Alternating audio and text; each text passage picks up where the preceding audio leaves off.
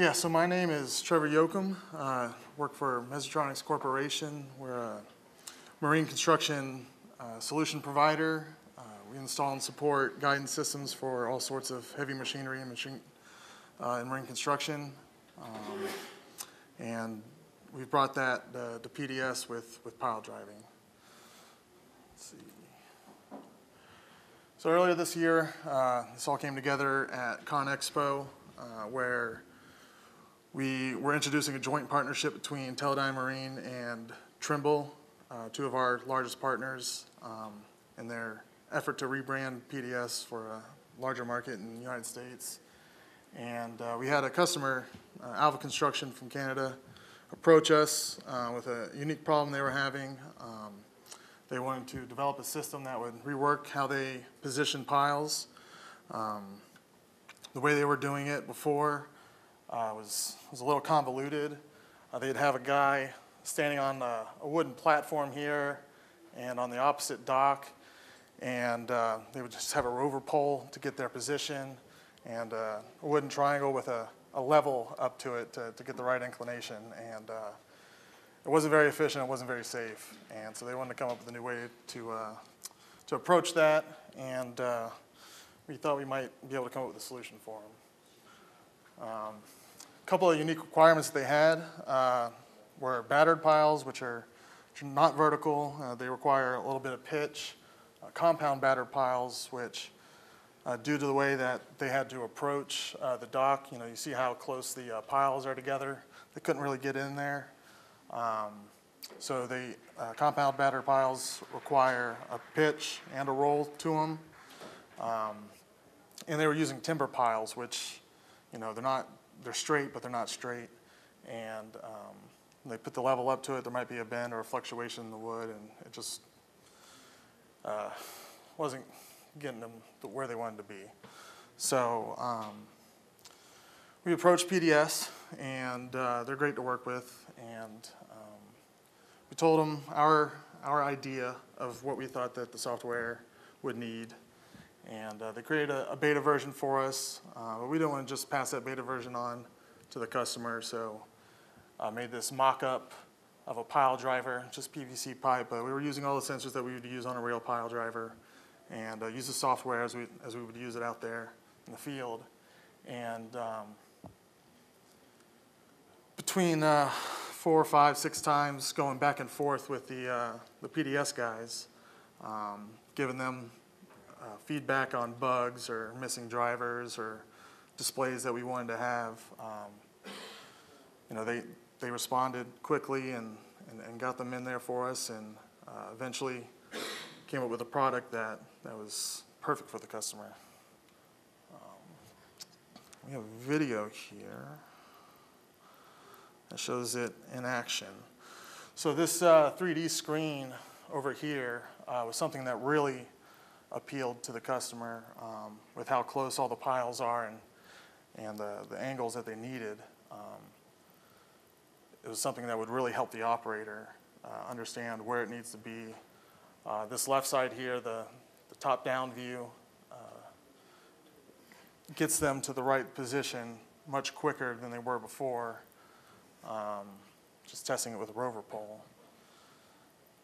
And uh, simply becomes a game of trying to, to put the green pile, the current pile they have on top of the, the target pile, the yellow one. And uh, they're very happy with it. Um, they're putting in three, four, five times as many piles a day than they were before.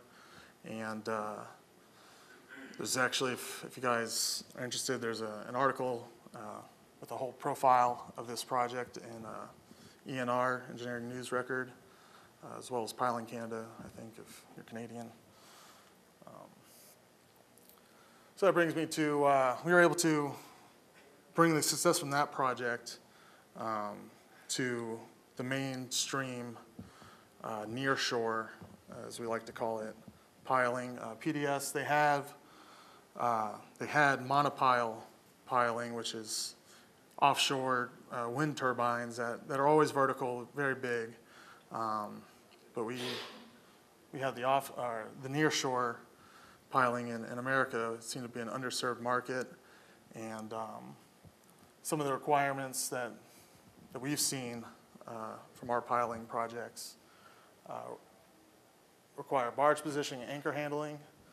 Um, The commu- communication between the barges, the tugs, the operators, it's all very crucial in uh, time management to, to get to the right spot uh, quick enough. And uh, when it comes to dropping anchors and spudding down, um, a lot of times uh, there, there are hazards underneath underneath the ground, and uh, you know you're on water, you don't know exactly where you are. Um, so you know you don't want to put a spud through a like a utility line or a water line, gas line, uh, shipwrecks, environmentally protected areas. Um, so um, PDS provides that. Um, The pile positioning and guidance, this is, this is where the efficiency comes into play. Um, It gives us real-time monitoring of the, of the current position relative to the target position. Um, And down here, it gives vessel referenced um, distances to the target, uh, which really helps uh, the operator uh, or the, the tug driver get them right to where they need to be, or, or very close at least, uh, very quickly without having to go over a radio and say, hey, you need to go three feet left, no, the other left, you know, stuff like that. Um, it gets them there quickly and, and accurately.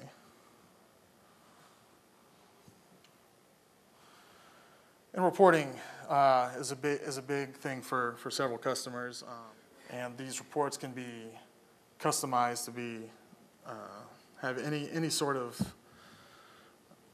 numerical that that's in the project for the computations. Uh, you have lead position, the uh, how far away you are from the target, the inclination for when it goes in, and it runs for 30 seconds, it runs for five minutes, and it gives you a, an average. So. Um, you know what it, what it was like when you placed it. And so when the surveyors come back uh, a couple days later, if it started to tilt or anything like that, you can say, hey, we placed it right, it just, it just fell, or something like that. Um, So some of the typical pile driving setups, um, you know, we have this one right here where it's, it's hanging from a, a crane. Um, you have the, the hammer or the vibrator at the top, but there's nothing really to keep it in place at the bottom. Um, because of that, it's very hard to um, put sensors on it to, to measure the inclination. Uh, you know, we can put a positioning a, a GPS at the top of the boom, but um, it's just assuming that the, the pile is directly underneath, and if you're in a current or something, it's going to drag it a little bit, and it's really hard to track that. Uh, so this is not, not ideal, but people still do it. Uh, this is the most common setup, uh, independently moving leads uh, being held by a crane. Um, you know, you can, this one's fairly large, but it, it allows for us to, to utilize the leads as a, um, a model for, for what the pile is doing. Um, so there's a, you, you put, we'll put the um, GPS and inclinometer on the leads, uh, and we're assuming that the position, the center of the pile is going to be the same. So, you know, they'll have gates that hold it or put wedges in there to make sure that the center of the pile is, is consistent and uh, that when the leads move, that the pile moves. Um, so we're, we're tracking the leads and assuming that the pile is the same. Um, it's, it's very, it's, it's by far the most common that, that we've seen, but, uh, and it works pretty well. Now we've got the fixed frame or, or a guide inside of a well um, or inside of a barge. You know, they cut a hole in the barge or, or just have an A-frame on the side of a on the side of the barge, and it'll um, it's it's fixed, and so you can put the GPS antennas um, on the barge instead of on the leads, and the center of that pile is is very static. It's not going to move, um, and you can provide uh, just an offset to the center of the pile, and it's uh, much safer. So the common sensors we use, uh, like I said, we're we're a Trimble Marine dealer, and uh, so I got our yellow products up here. Um, we use, uh, got to use correction source, you got to have some sort of RTK fixed GPS signaling. Uh, This is very high precision positioning that we require. And um, so orientation is, is used. If you have any sort of an offset, you're always going to have to have heading. Um, And heading matters a lot for battered piles, or if you're not using uh, round piles, you don't really need uh, heading so much because they're the same all the way around, but square, yeah, it's definitely needed. Um, So we'll use a dual, dual antenna receiver that'll give us heading and position. Um, We can also use other setups I'll mention later. Uh, We need some sort of angle sensor. Um, inclinometer gives us pitch and roll. Uh, Like I said, we'll usually put this on the leads. Another option um, that the PDS uh, system for monopile uses um, are fixed lasers that'll shoot the pile at the middle, the top, middle, and the bottom uh, to give us a line of where the pile is, and, and that way it gives us position and inclination. Um, We've not used that ourselves, but uh, hoping to. So I don't know how familiar y'all are with uh, PDS, but uh, when you're, after you set up your project, you go into to making your vessel, and, and this is where uh, the secret sauce is. Um, so you can uh, give it for visualization any sort of shape that you'd like. Um, it- it's they don't really have like a, a pile driving standard shape, so most people will provide a, a DXF drawing of of what they have. It gives the uh, operator a really good visual of where his machine is and where the pile is. Um, and then these offsets that I, that I mentioned earlier, you'd have a, your primary GPS would be your reference point, and then you'd have offsets based on, uh, vessel referenced offsets based on, uh, where GPS is. Um, So th- this one actually had, uh, not only did they have the center of the pile, which is what you're tracking, but they also had a drill that they wanted to track, because they would drill down and then place the pile there. Um, And so they, they use the uh, guidance system for both of those things. And then the equipment, that's, that's the other important part here. Um, Is interfacing all, all the sensors that you're using into PDS. Um, So it knows, it knows the signal that it's getting, it knows the computations that it has to make uh, for the guidance.